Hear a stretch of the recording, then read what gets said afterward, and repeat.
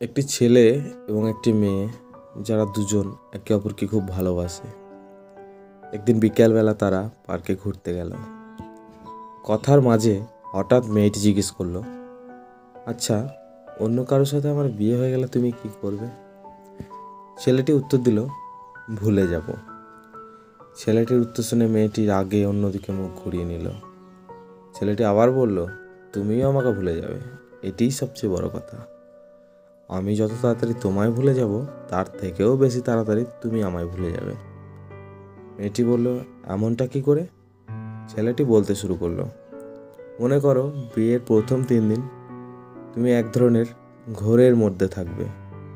শরীরে গয়নার ভার, মুখে মেকআপের প্রলেপ, চারিদিক থেকে ক্যামেরার ফ্লাশ আর মানুষের ভিতর থাকবেই। তুমি চাইলেও তখন আমার কথা মনে করতে পারবে না। আর আমি তখন হয়তো কোনো বন্ধুর সাথে উল্টোপাল্টা খেয়ে পড়ে থাকব। আর একটু পরপরই তোমায় হৃদয়হীন অপবাদ দিতে থাকব। আবার পরক্ষণেই পুরাতন স্মৃতিগুলি মনে করে বন্ধুকে জড়িয়ে ধরে কাঁদতে থাকব। এরপর বিয়ের পরবর্তী দিনগুলোতে স্বামীর সাথে নতুন আত্মীয় স্বজনের বাড়ি ঘুরতে থাকবে, আনন্দ করবে।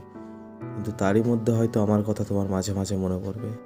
এই যেমন ধরো স্বামীর হাত ধরে ঘোরার সময়, স্বামীর বাইকের পিছনে বসে কাঁধে হাত রাখার সময় আমি তখন ছন্নচেরা হয়ে ঘুরে বেড়াবো। আর বন্ধুদের বলতে থাকব, এসব প্রেম, ভালোবাসা কিচ্ছু নেই। নিজের নিঃশ্বাসকেই বিশ্বাস নেই, তা আবার অন্য কাউকে কীভাবে বিশ্বাস করা যায়? বিয়ের কিছু মাস পর তুমি হানিমুনে যাবে। শপিং ম্যাচিং একসাথে খাওয়া আরও শত শত প্ল্যান আর স্বামীর সাথে হালকা মিষ্টি ঝগড়া। তখন তুমি বিরাট সুখে। হঠাৎই আমার কথা মনে হলে ভাববে আমার সাথে বিয়ে না হয়ে বোধ হয় ভালোই হয়েছে।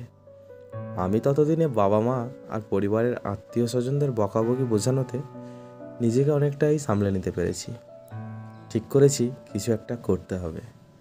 নিজেকে নতুনভাবে প্রতিষ্ঠিত করে তোমার থেকেও সুন্দর একটি মেয়েকে বিয়ে করে তোমায় দেখিয়ে দিতে হবে। সবাইকে বলব, তোমায় এখন আমি পুরোপুরি ভুলে গেছি।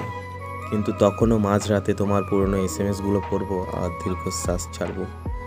দুই বছর পর তুমি না কারোর প্রেমিকা থাকবে আর না থাকবে কারোর নতুন বউ। তুমি তখন একটি সন্তানের মা।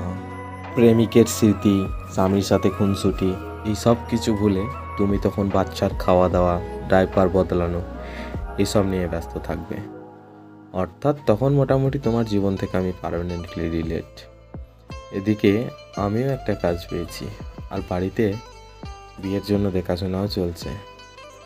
মেয়েও পছন্দ বাড়ি থেকে আমাদের দুই হাত এক করে দেওয়া হলো। আমি এখন ভীষণ ব্যস্ত নতুন সংসার নিয়ে। এবার সত্যিই আমি তোমায় ভুলে গেছি।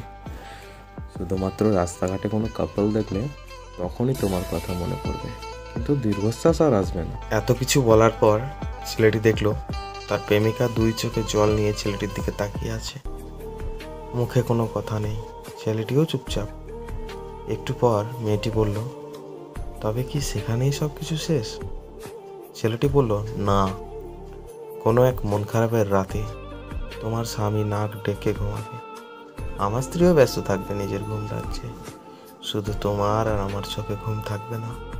আর ঠিক তখনই দুজনে দুজনের অভাবটা বুঝতে পারব।